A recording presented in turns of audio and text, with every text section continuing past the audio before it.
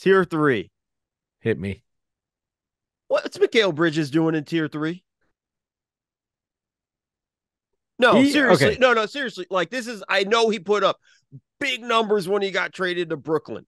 I know everybody this and that. The team still finished 12 uh, 12 and 15 in the games that he played in Brooklyn when once he got traded there. Got swept in the playoffs. Like it's like what are we like come on, man. Like were we really like Okay, so he was the best three and D player in the league, and then he gets traded, and he's in a. It's only twenty seven games. He's in a. He's in a primary role.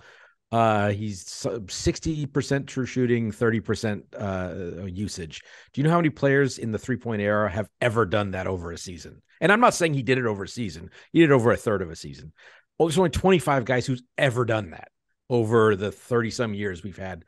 We've had the three pointer. So, um admittedly i've kind may have kind of been looking for a reason for him to you know the line between tier three and tier four has always sort of been the role player barrier for me but his ability to get shots i mean he was already improving that in phoenix his ability to get his own shot.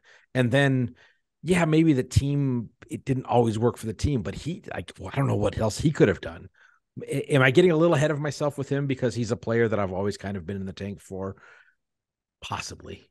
But uh more than possibly stop it more than okay. possibly you're human it's okay yeah. it's okay if you uh, this that but that one that one shocked me because to me this is jerami grant 2.0 he's better player than jerami grant but same concept. His best role on a team and you talked about this in in the uh in the tiers about like hey like his best role is going to be on a championship team a 3 and D guy who can put stuff put it on the floor maybe be a third option at most and things like that. I think we we saw Jerami Grant put massive numbers up in the with the Pistons, and I don't think you gave him as much love in the tiers when he was doing that with the Pistons. I don't remember. I, I mean, I, I mean, Grant. I was I was impressed that Grant was able to go from a sort of a fourth option in Denver to a first or second option in Detroit and be at roughly league average efficiency.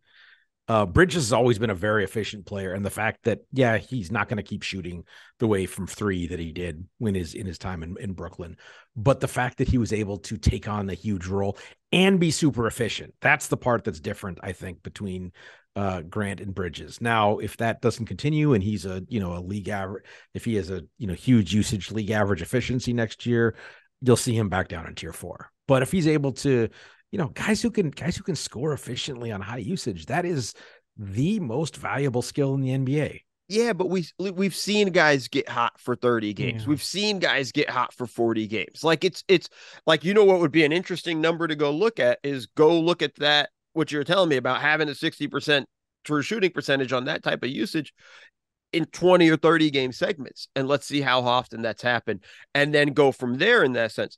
We we both know listen, the number is going to probably go down just cuz it's a crazy number. Just by sure of 82 games assuming health and everything you know, uh, i- in that sense. But it's like, you know, I just think we get too hyped off of what we saw there. And then it's again, it's just a little bit frustrating for me, Seth, because in some tiers, for some guys, winning matters, but for other guys, it doesn't. Like there's Well, an element, there's an element of that where it's a, it's, it's not. This is this is my problem with it. He to me should be a tier four A guy, like all the way. He's not. He's not. You you got to prove it to make it to tier three. Fair enough.